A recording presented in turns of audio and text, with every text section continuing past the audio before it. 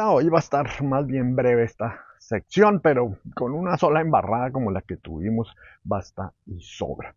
Sí, caímos también nosotros en el apresuramiento con que se interpretó el proyecto este de los topes al impuesto predial, eh, y aunque casi todos los colegas hayan caído igual que nosotros en esa interpretación, y aunque el artículo en realidad pues explicaba bastante bien los alcances del proyecto, nada excusa el título que era claramente tendencioso el que utilizamos para presentarlo.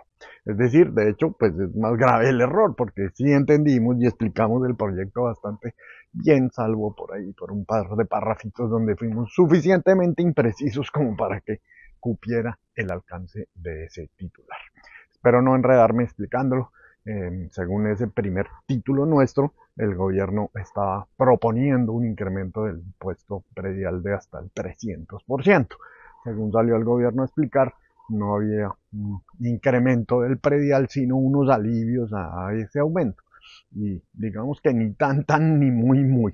El título nuestro era sesgado porque daba a entender eh, como si el gobierno le hubiera dado, pues, por ponerse a recoger más plata y hubiera decidido aumentar el impuesto predial de manera exorbitada. Y pues no, el predial se aumenta porque el valor de los predios por el catastro está muy desactualizado en varias partes del país y al actualizarlo pues se sube el valor de los predios y por tanto el valor del impuesto predial. Entonces el predial pues sí va a subir, incluso en algunos casos va a llegar más allá del, o hasta el 300%, pero el proyecto lo que pone es unos límites a ese incremento del impuesto. Lo que no contó el gobierno es que esos topes de todos modos son superiores en la mayoría de los casos de los que contempla la ley actual. Entonces, aunque no está proponiendo subir el predial como lo sugería el título inicial, sí está subiendo el límite del impuesto hasta entre el 50% y hasta el 300%, cuando hoy no puede llegar a más que el índice de precios al consumidor más 8 puntos para los catastros que ya están actualizados, o hasta el 50% del valor pagado el año anterior para los no actualizados. Muy enredado el asunto, sí, yo sé, pero en últimas lo que estuvo mal fue presentarlo como un aumento exorbitado del predial por parte del gobierno, cuando en realidad es un ajuste de los topes hasta dónde puede subir ese impuesto de un año al otro. Pero que va a subir, va a subir, si se aprueba el proyecto, claro. Y en algunos casos esa subida puede ser de hasta el 300%. Finalmente modificamos el titular y ajustamos un par de párrafos en esa nota.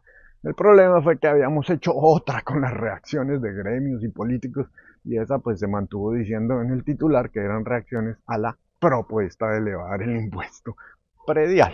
Son los topes, los topes, no el impuesto. Y es cerca de, en las inmediaciones, frente a, no es lo mismo que en. Muchos nos regañaron, sí, por decir que un tiroteo en Bogotá esta semana había sido en la estación de Transmilenio de Alcalá, y pues no, fue cerca, en las inmediaciones, al frente, a 300 metros, pero no en la estación. Toda la razón parece alón de orejas también. Bueno, no más, nos vemos, chao.